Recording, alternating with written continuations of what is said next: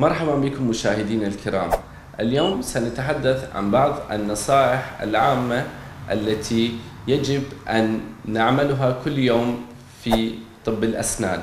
طبعا أولا يجب أن نستخدم نوع فرشاة الأسنان أن يكون نوعها جيد وأن يكون حجمها ملائم لحجم الفم.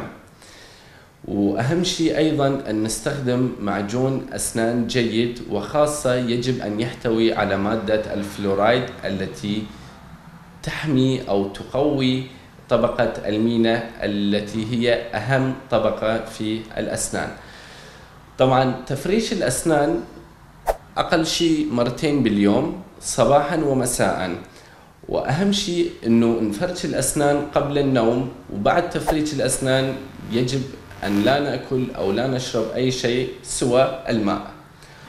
ويجب تغيير فرشاة الأسنان كل ثلاثة إلى أربعة أشهر أو بعد استهلاك شعيراتها. ومن الأشياء المهمة في وقاية الأسنان طبعا هي المأكولات والمشروبات.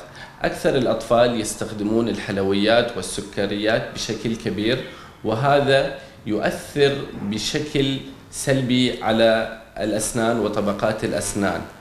وأكثر الناس أيضا يستخدمون المشروبات الغازية التي أيضا تؤثر على طبقات الأسنان وتؤدي إلى استهلاك الطبقة العلوية للأسنان التي هي تحافظ على الطبقات الأخرى.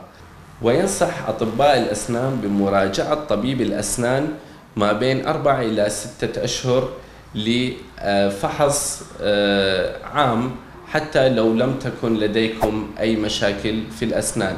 لأن دكاترة الأسنان يستطيعون أن يرون ما لم ترونه أنتم في المرآة العادية. شكرا لكم لحسن متابعتكم ونراكم في الحلقات القادمة.